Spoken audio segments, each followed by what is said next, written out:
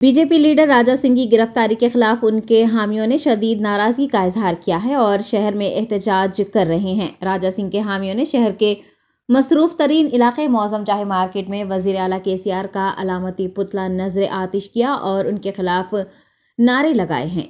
एहतजाजियों ने शहर की सबसे बड़ी मार्केट बेगम बाज़ार में भी बतौर एहतजाज दुकानात को बंद करवा दिया है।